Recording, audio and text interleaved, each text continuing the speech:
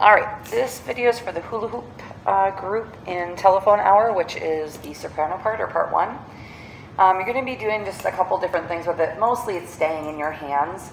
There is a part where honestly, if you're a good hula hooper and you want to do it like towards the end, go for it. Um, but it's just like thinking about creative ways to move it, um, that kind of thing. So here we go. I'll kind of talk you through as the music plays.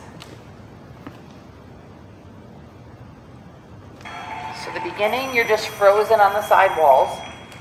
Kind of fun pose.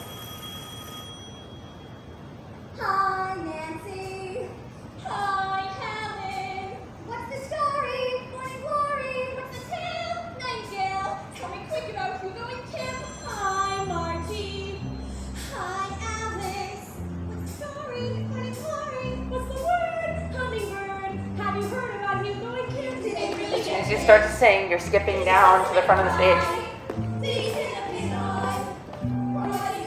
When you get there, just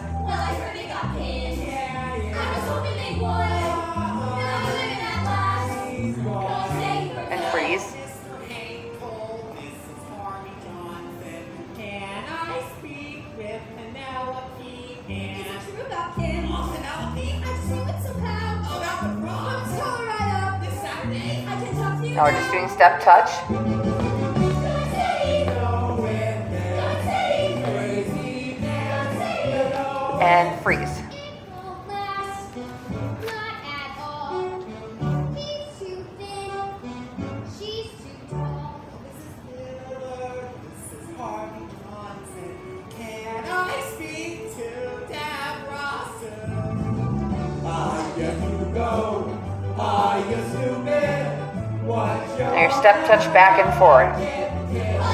Step down, up, step down, step. Freeze. And then